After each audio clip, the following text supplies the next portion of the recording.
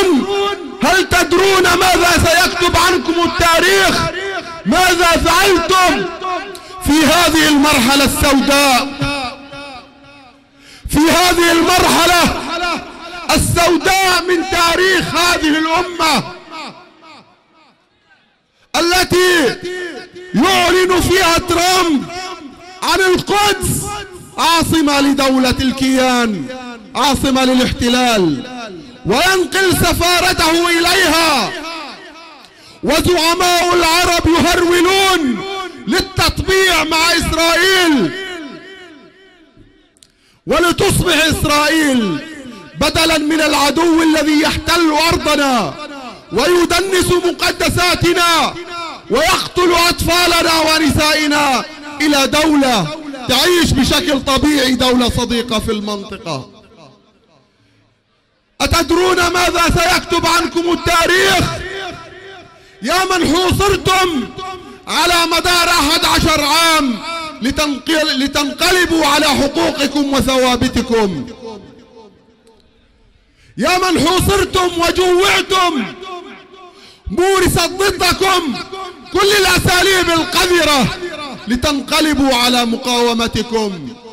فخرجتم في هذا الحراك الوطني الكبير. ورسمتم هذه اللوحة العظيمة. أتدرون ما سيكتب عنكم التاريخ؟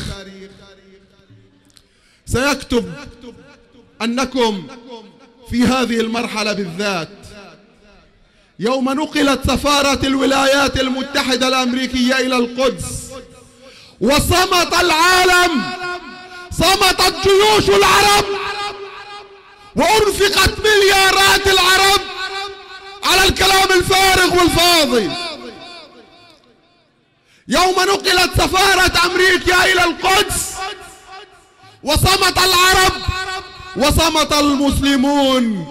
خرجتم بأجسادكم العارية وأقدامكم الحافية وأمعائكم الخاوية لتقولوا للعالم أجمع.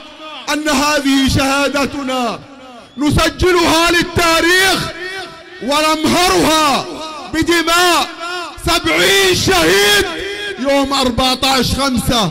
أننا نرفض هذا النقل. نرفض أن تكون القدس إلا عاصمة لفلسطين عاصمة أبدية لفلسطين.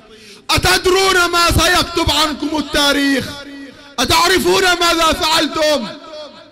بكوشوككم بمقصاتكم بأعلامكم بطائراتكم الورقية.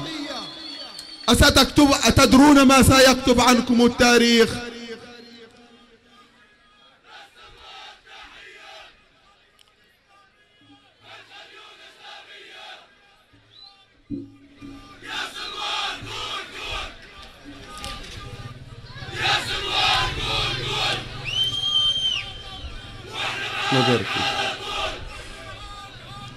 أتدرون؟ أتدرون. ماذا فعلتم؟ وماذا سيكتب التاريخ عن التاريخ عنكم؟ أيها الشباب الفلسطيني الثائر سيكتب أنكم فرضتم على العالم على كل شاشات التلفزة في العالم يوم 14 أربعة أن تقسم شاشتها بالنصف. نصفها ينقل صورة الزيف والخداع والكذب والبلطجة وصورة تنقل صورة بطولتكم صورة تضحياتكم صورة عطائكم الذي لا ينضب صورة الحق الأبلج. أتدرون ماذا فعلتم؟ وماذا سيكتب عنكم التاريخ؟ سيكتب عنكم التاريخ أنه رغم ازدحام جدول أعوال العالم ورغم ازدحام طاولة العالم ورغم أن المثبطين من أبناء شعبنا وأمتنا رغم أن المهرولين للتطبيع مع العدو الصهيوني أرادوا استخدام ذلك كمبرر لمزيد من التنازلات أنكم بصدوركم العارية وأقدامكم الحافية وأمعائكم الخاوية فرضتم على العالم.